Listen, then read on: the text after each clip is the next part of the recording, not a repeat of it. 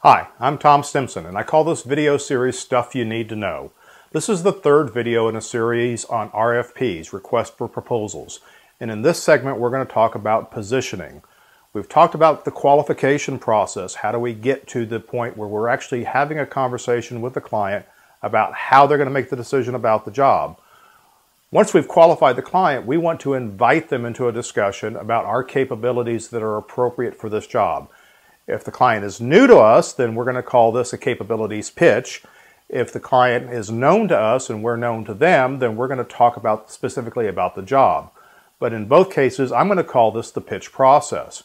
So we're going to invite the client, once we've qualified them, to talk about the pitch and the refinement and the agreement that we're going to work towards. So in the pitch process, we're going to review the opportunity look at our unique capabilities that we can contribute to it, dig a little bit deeper into the client's expectations about what they want the supplier to do.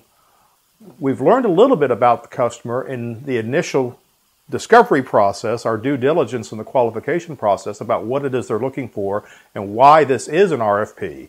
So in our pitch process, we need to make sure that we're emphasizing why we are qualified as a supplier. You qualified them as a buyer. Now it's your turn to qualify yourself as a supplier. So we go through this, and hopefully, what we'll do is we're going to refine the RFP. Very rarely is an RFP cut and dried. It's fully vetted, it's been engineered, it's been completely thought out. Sometimes it is, and we're going to learn that in the qualification process. But a lot of times it's just a positioning request so they can get better information about how to approach the job and they can learn more about the job themselves. What is the job worth? Is there a better way of doing it? Is there technology I need to consider? Is there another approach that I need to take a look at?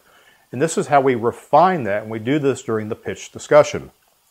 And then the third thing that we're going to do in this process is we talk about it, we refine it, and then we agree to a scope of work.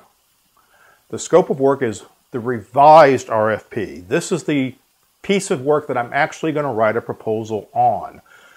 So if we get through this conversation, I can close it by saying, here's what I think we've agreed on that the project needs to be. Let me write you up a scope of work, if this sounds right, and let you agree to the scope of work.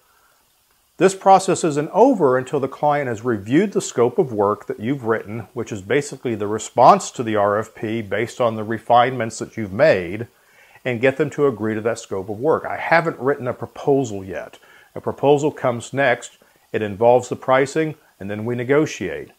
So, in the positioning phase, I'm working towards an agreement on what the scope of work actually is. In the next video, we're going to talk about the proposal itself.